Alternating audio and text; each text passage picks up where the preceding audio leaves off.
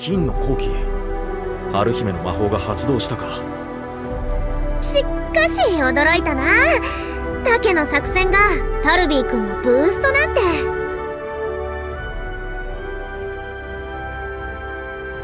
そうだ！タルビー君の結界が沼の王に有効って言うんならいっそオラリオで特訓させるっていこれは極論で時間もないけど魔力が上がれば魔法の威力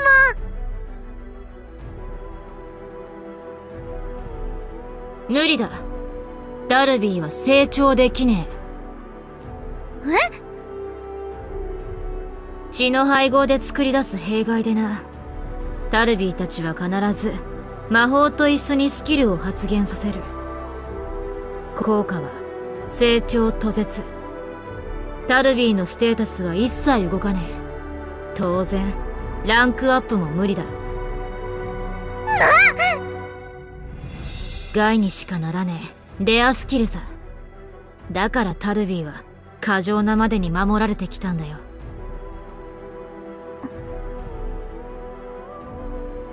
タルビーの魔法の威力効果範囲が跳ね上がれば確かに沼の王にワンチャンあるかもしれねえ。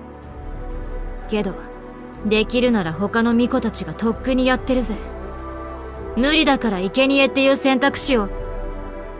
ならば外部からの力で強制的に消化させれば沼の王に知名度を与えることは可能だな。はあ？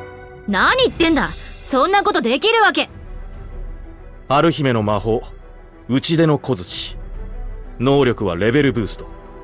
付与した者のレベルを1段階上昇させるは？本当だベーラ。俺もその魔法を見た。レベル3の小僧がそれで俺と何度も張り合ってきやがった。あ？お前ら何言ってんの？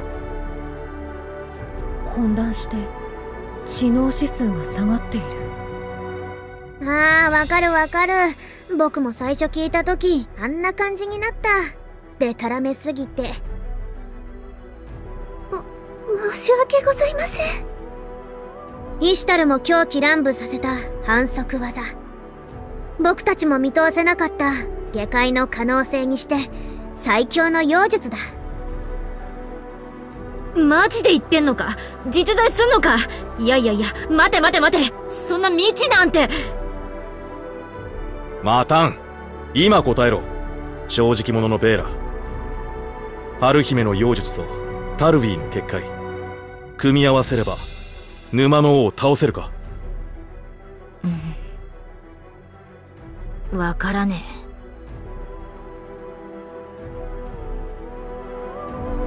成長できねえはずのタルビーをレベル2にさせる。イレギュラーもイレギュラーだ。結界の効果範囲が広がれば源泉を掌握できるかもしれねえ。威力が上がれば沼の王の蘇生を狂わせられるかもしれねえ。全部推測全部未知。本当にどうなるか私にもわからね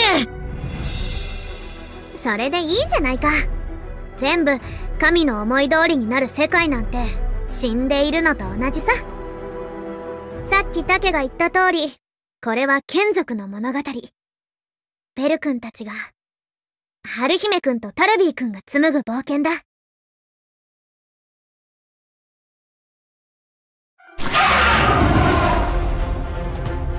沼の王が苦しんでる。見よ周囲の沼が引いていく。タルビー様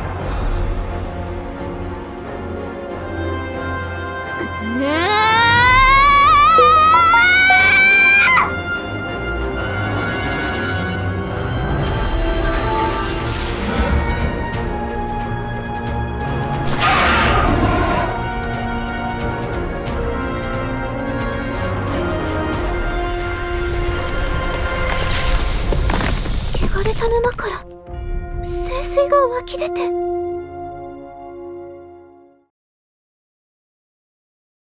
生命の泉が蘇った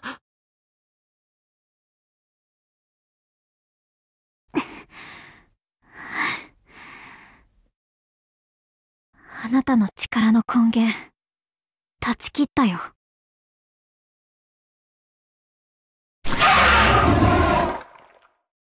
モンスターの体が、みるみるうちに小さく。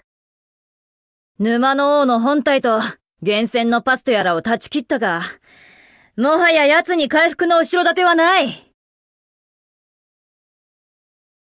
私たちの国は、ずっとあなたに苦しめられてきた。だから、返してもらうよこれまでのベルテーンも、これからのベルテーンも、みんな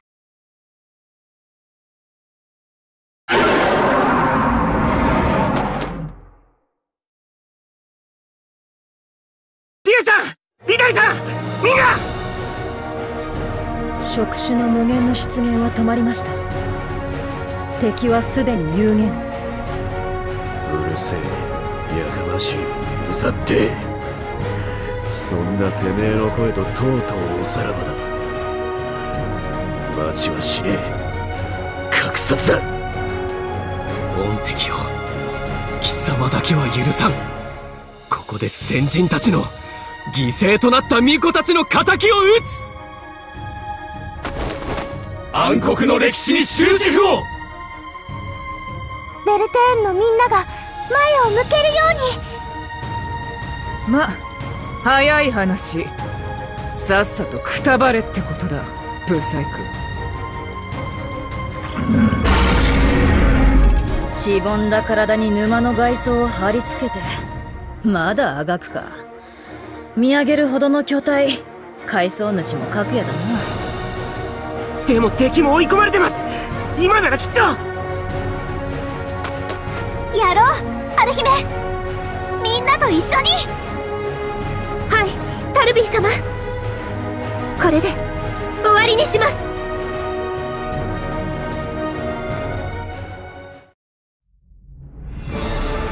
胸が熱くなるね